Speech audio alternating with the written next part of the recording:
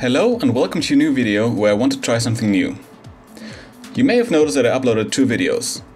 While this one includes my commentary, the other one is just a project video with some music, so if you would rather watch that, you can click the link in the top right corner now. This project is going to be a cake plate for a friend who makes amazing desserts. To cut the pocket for the resin inlay, I first use a 3mm end mill to rough out most of the material and to establish the outline.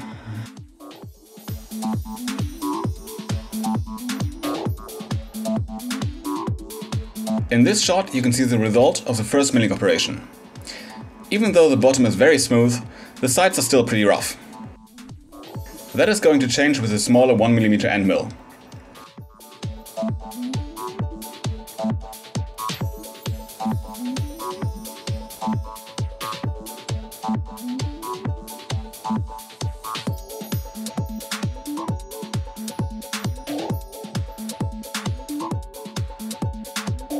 Even though it has far less material to remove, the second operation actually took a lot longer than the first one, just because those tiny end mills are so fragile.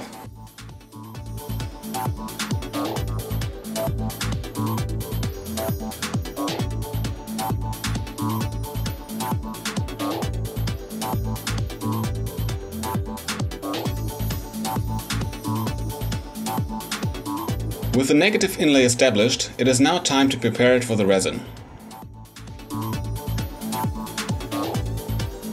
I use 120 grit sandpaper to knock down all the fuzz on the edges. Afterwards, I use clear lacquer to seal the grain. I should have really sprayed on more coats or maybe used a clear epoxy for this. You can later see why this turned out to be a problem. The epoxy I'm using got a 45 minute working time. I mixed the blue color in one part and blended it really well before adding the second part. As always, I greatly misjudged the amount of resin I would need and prepared almost twice as much as needed.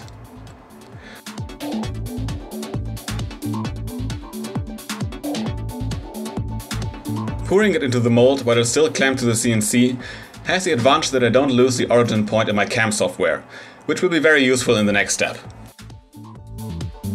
Since I don't have a vacuum chamber to degas the epoxy, I have to return periodically to burst the rising bubbles with heat. After it fully cured, it was time for the most satisfying part of this whole build. Planing down the parts to reveal the design.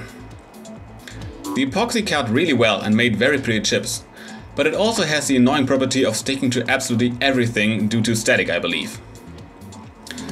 But it is still worth it to see the work my CNC, that I spent more than half a year building, is doing.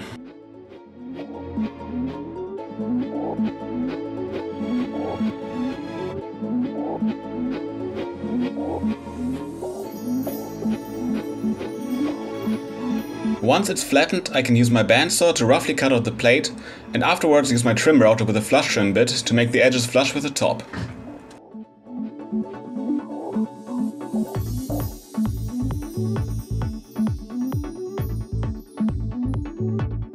And now, even though I took great care with all the surfaces, I still had to spend almost half an hour sanding this.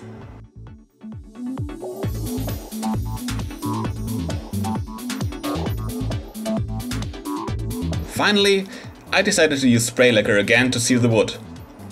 It turned out not to be hard enough though, so if you have a better recommendation for me, please leave them in the comments below.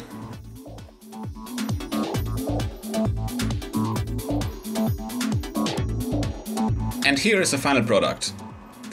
As you can see, the epoxy bled into the wood a bit. It still turned out to be okay for a prototype, but I will take extra care to seal the grain next time.